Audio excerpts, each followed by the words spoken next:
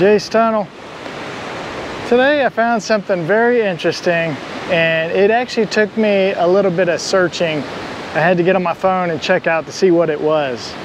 I'm not sure how close up you can see this thing, but this is a metal cylinder. But the interesting about this metal cylinder is if you look at the top or if you look at the bottom, there is no um, connection for to like get any kind of fluid in it, any kind of gas, anything like that. Uh, it does say top on it with an arrow pointing up, like the direction it is right here.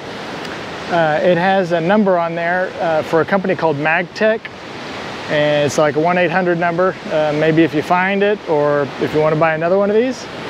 And then it has a serial number, model number, max PSI, and then uh, some other number on here, minimum SG. But anyway, I ended up somehow finding out what this thing was uh, by doing a little search on my phone. And this is a magnetic level gauge float.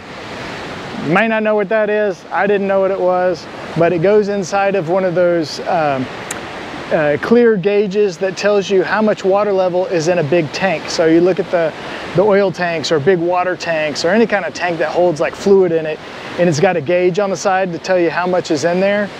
Um, th this is what it looks like. And so this thing goes up and down, and then there's typically flaps on the inside of that gauge that um, turn orange or any kind of, I guess, color to indicate what the level is as the fluid on the inside goes up or down.